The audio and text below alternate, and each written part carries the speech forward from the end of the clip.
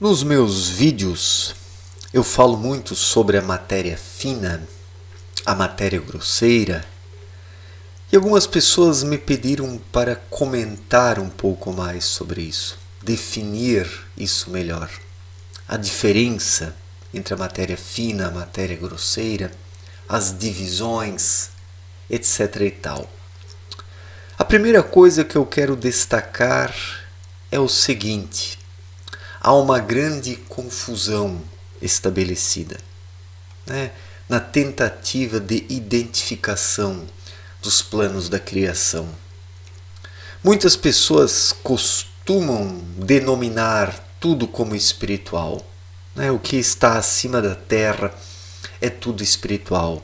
Não entre a Terra, onde os seres humanos estão encarnados, né, o planeta Terra, e o plano espiritual, de onde vieram um dia para as reencarnações, as encarnações e reencarnações em busca do aprimoramento espiritual, existe uma grande distância e inúmeros planos separam o espiritual do planeta Terra. Daí temos a matéria grosseira, temos a matéria fina, temos o enteal. Daí, por fim, se chega ao espiritual. E muitas pessoas acreditam que o simples contato com o plano astral, né, que está logo aí, já é um contato com o espiritual, sendo que o plano astral está muito longe do espiritual. Né? Então, vamos começar pelo seguinte: o planeta Terra faz parte da matéria grosseira mais densa. A matéria grosseira é dividida em três partes, três camadas. A matéria grosseira mais densa, que é onde está o planeta Terra aqui, a matéria grosseira mediana, onde os atos é, das palavras humanas, as palavras proferidas assumem configurações. Então é na matéria grosseira mediana. E os pensamentos assumem uma forma na matéria grosseira fina. Então a matéria grosseira é dividida nestas três camadas, nestes três planos. A matéria grosseira mais densa, o plano das ações, a matéria grosseira mediana, onde as palavras assumem formas e configurações, e a matéria grosseira fina, onde os pensamentos são configurados em formas de pensamentos. Depois dessa matéria grosseira, existe a matéria fina, que por sua vez também é dividida em três partes, três planos. A matéria fina mais grosseira ou a matéria fina mais grossa, né? a matéria a matéria fina mediana ou média e a matéria fina sutil, né? que é o plano mais sutil da matéria fina. E dependendo já um certo nível de pureza que o ser humano alcança nos seus sentimentos de forma verdadeira e sincera, ele consegue, ele consegue é contato com esses planos e consegue é configurar determinadas formas nesses planos da matéria fina, que por sua vez atuam como ganchos que seguram o ser humano quando ele consegue chegar à matéria fina. É claro, né? Porque a maioria esmagadora desta humanidade consegue apenas lidar com a matéria grosseira. A matéria grosseira mais densa, a matéria grosseira mediana e a matéria grosseira fina, que é o, o plano astral. A maior parte das pessoas não consegue sair disso, não consegue enviar irradiações do espírito para planos mais elevados o que por sua vez pode acionar o retorno para que coisas mais elevadas também cheguem às pessoas. Os seres humanos, infelizmente, se enclausuraram na matéria grosseira. Né? Se enclausuraram, fecharam a criação para si, por causa do excesso de mente. A mente ela atua na matéria grosseira aqui. É? A mente atua na matéria grosseira densa, na mediana e na fina. A mente não passa da matéria grosseira fina, o plano astral. Para que o ser humano possa ir além disso, ele precisa fazer um uso de seus corpos interiores. É? De todos os planos da criação, abaixo do espiritual, o ser humano tem um invólucro. O ser humano tem o invólucro de matéria grosseira densa, de matéria grosseira mediana, matéria grosseira fina, depois matéria fina mais densa, mediana e matéria fina mais sutil. Só que os corpos dessa matéria fina, né, mais densa, mediana e sutil, o ser humano nem chega a utilizar a maior parte das pessoas. Isso está atrofiado, dormente dentro delas. E o espírito, que é o núcleo, ah, não há nem o que falar sobre isso, completamente inerte, imóvel, indolente, né? congelado por causa da preguiça espiritual. Então temos aí a matéria grosseira, dividida em três planos, a matéria fina, dividida em três planos. É claro que existem planos de transição novamente entre essas diferentes camadas. Então já temos aí seis planos: os três da, os três da matéria grosseira, os três da matéria fina, e depois da matéria fina, acima da matéria fina, está o plano enteal, que por sua vez é dividido em duas partes. A parte inferior do enteal é onde as almas dos animais têm a sua origem, são ainda formas de vida inconscientes, por isso os animais eles precisam encarnar, buscando o seu desenvolvimento, e os animais eles não têm uma individualidade como os seres humanos. Assim que desencarnam, novamente são atraídos para centrais de forças da, da espécie igual. Então, os animais têm uma espécie de alma coletiva, porque a individualidade logo desaparece. Apenas quando um animal terreno desenvolve um amor muito grande por um ser humano e tem uma troca de irradiações e energias com esse ser humano, ele pode manter por mais ou menos tempo a sua individualidade, sem logo ser atraído para um grupo de almas coletivas novamente. Né? Ou, digamos assim, um, um bloco né, dessa espécie que novamente absorve a individualidade dos animais. Então, o plano enteal, na sua parte inferior, é de onde os animais têm a sua origem, a alma dos animais. Então, reparemos aqui que os animais não têm espírito, têm apenas alma. Tá? Há uma diferença entre os dois. O espírito tem uma autonomia. Já a alma do animal não tem essa autonomia. É, não tem essa autonomia.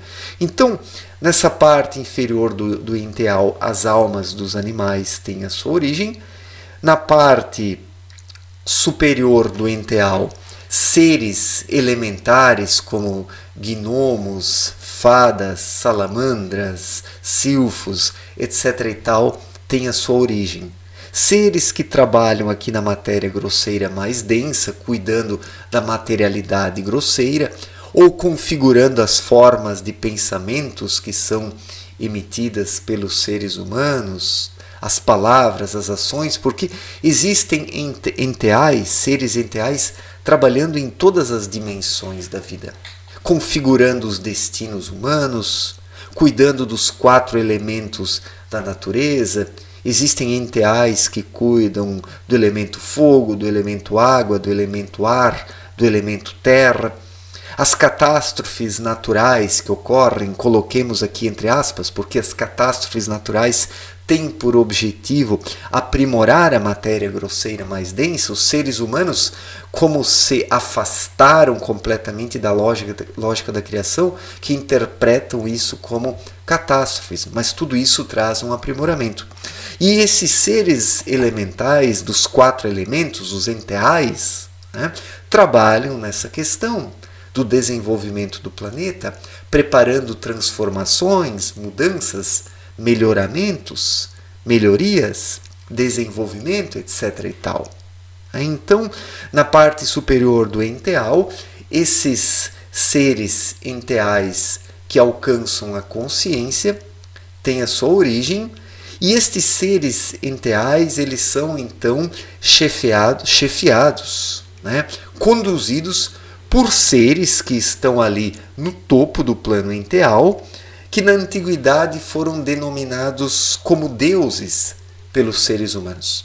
Seres humanos de milhares de anos atrás que desenvolveram uma certa vidência, conseguiram enxergar esses seres, que são os guias, que são os condutores dos elementais ou dos enteais que trabalham nos elementos da natureza ou na constituição dos destinos humanos.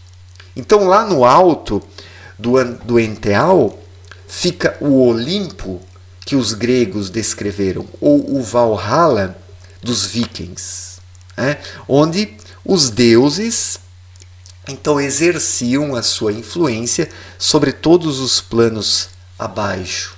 Né? O enteal inconsciente, onde surgem as almas dos animais, e aqui os elementos da matéria grosseira densa, os quatro elementos.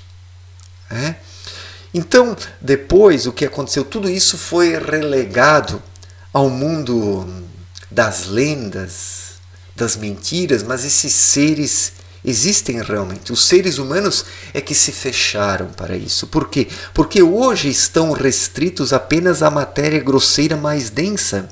O olhar interior que permite conexão com planos mais elevados foi toldado, foi embrutecido por causa do adormecimento do espírito. Por isso os seres humanos estão nessa cúpula de matéria grosseira mais densa, não conseguindo sair disso porque eles próprios se escravizaram a essa condição através do uso irrestrito do intelecto, do raciocínio, que se ocupa e se preocupa apenas com as coisas mais visíveis aqui na matéria grosseira densa. Então temos aí os três planos da matéria grosseira, como eu disse, os três planos da matéria fina, as duas divisões aí do enteal, né? embaixo onde surgem as almas dos animais e na parte superior onde surgem os seres que trabalham na criação. Né? E no topo deste enteal está o Olimpo ou Valhalla, onde estão os guias, os direcionadores desses seres enteais. E depois que se passa o plano enteal, que se chega ao espiritual, de onde os seres humanos têm a sua origem, onde partiram um dia para suas encarnações e reencarnações em busca do desenvolvimento espiritual. E de todos esses planos que eu citei abaixo do espiritual, nós, seres humanos, temos um invólucro dessa espécie. O espírito, o espírito, ele partiu nu do espiritual. É como está na Bíblia, quando o espírito saiu do paraíso, ele sentiu vergonha da sua nudez e daí teve que se vestir. Vestir com o que? Primeiro com vestimentas do plano inteal, depois com vestimentas da, da matéria fina, com vestimentas da matéria grosseira, e a vestimenta mais densa de todas é justamente o nosso invólucro carnal. E mesmo tendo todos esses invólucros em torno do espírito, o ser humano precisa manter o seu núcleo ativo, mesmo estando longe da sua origem espiritual, mantendo-se ligado para poder retornar mas no caso da maior parte das pessoas, por causa do excesso de mente, esse núcleo adormeceu e agora as pessoas não conseguem reencontrar o caminho de volta para casa, de volta para o lar espiritual.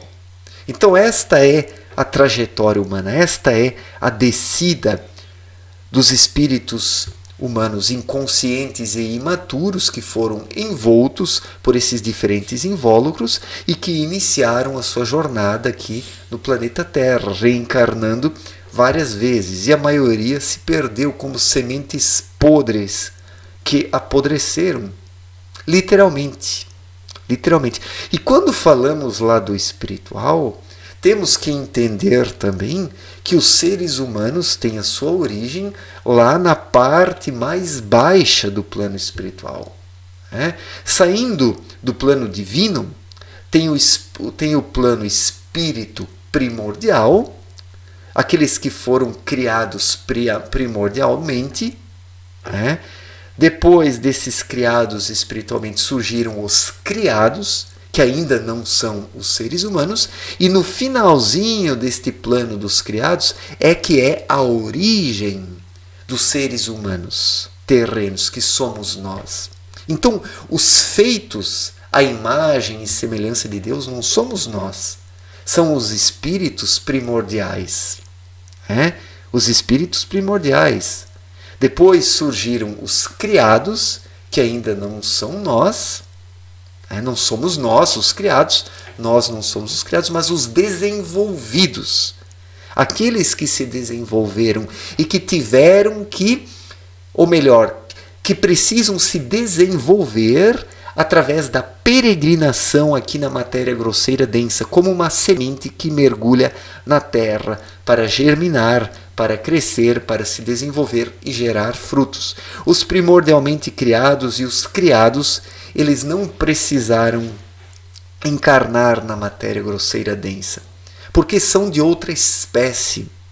É, é uma espécie mais forte que a nossa, uma espécie que está mais perto da luz, que suporta a vibração da luz, que suporta permanecer mais perto da luz. Nós, seres humanos, tivemos que baixar mais, porque se estivéssemos acima na nossa origem, não suportaríamos a vibração da luz. É?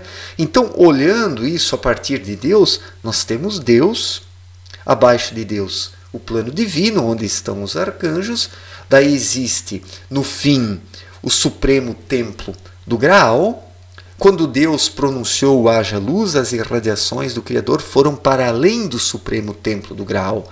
Daí surgiu no alto do espírito primordial uma cópia do supremo templo do Graal.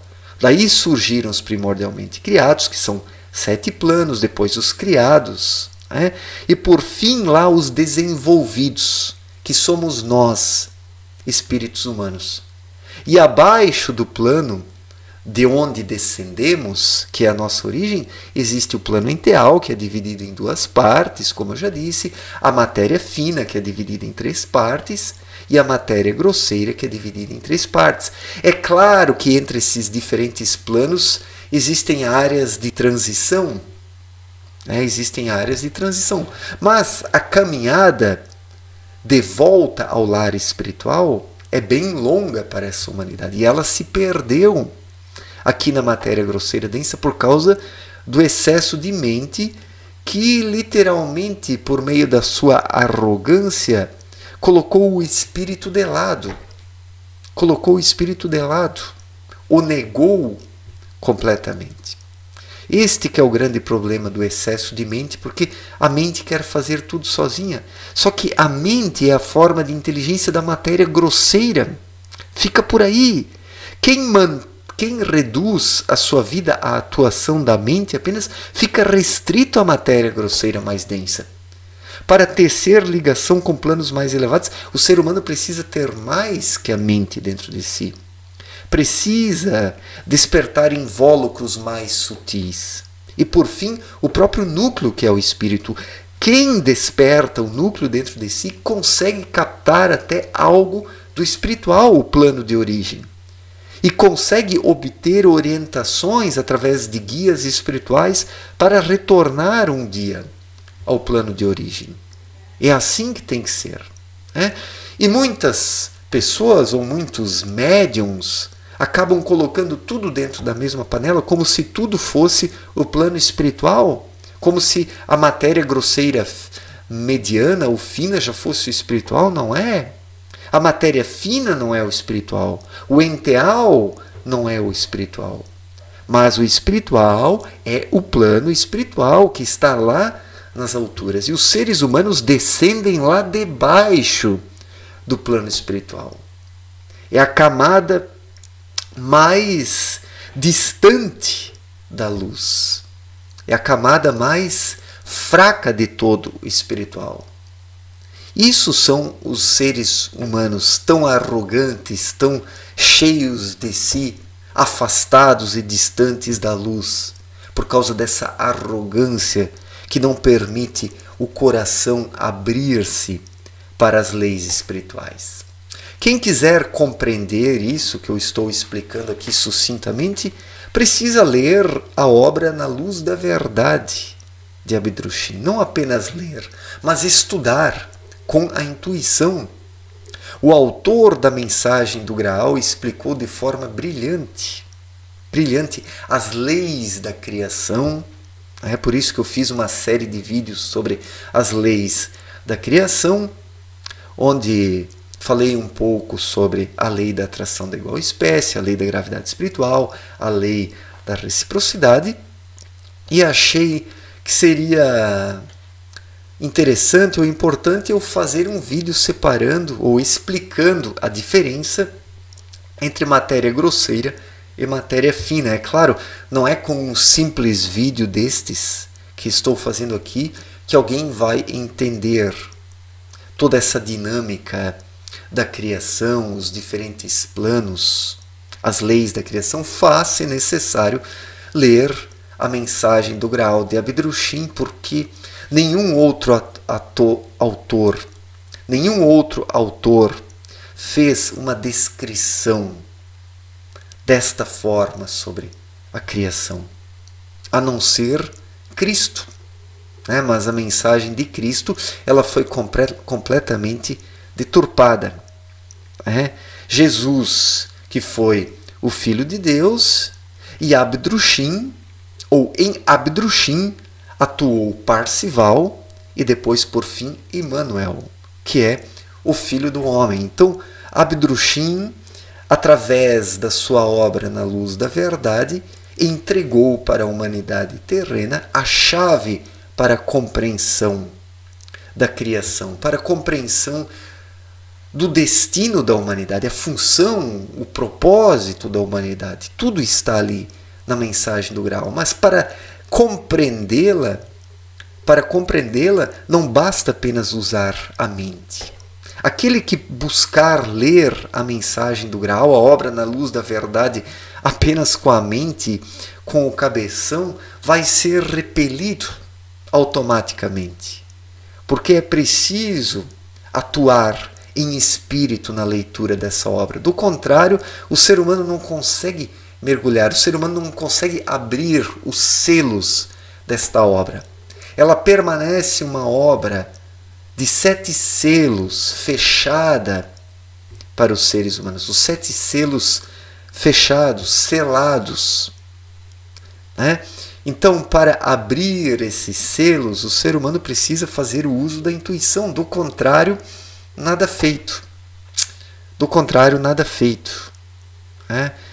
E da mesma forma como a mensagem de Cristo não foi compreendida e durante séculos foi negada, a mesma coisa se deu com a obra de Abdrushim, o filho do homem, que há 80 anos atrás deixou aqui a sua mensagem do Graal, mas até os dias atuais apenas poucas pessoas tiveram acesso porque a maioria das pessoas, ou muitas pessoas que chegam a encontrar essa obra, acabam classificando-a como simples demais, simplória, optando por coisas mais complexas, por masturbação mental, etc. e tal. É, a obra na luz da verdade exige apenas sinceridade de coração, honestidade, simplicidade de coração. Quem ler a obra na luz da verdade com, com simplicidade de coração haverá de adentrá-la, haverá de compreender a sua lógica, as leis que estão lá explicadas, os planos da criação, a função do ser humano, a origem do ser humano. Tudo está lá. Basta querer ler de forma simples, sincera e honesta. Certo, gente? Muito obrigado pela atenção. Um forte abraço para todos e até a próxima. Valeu, gente!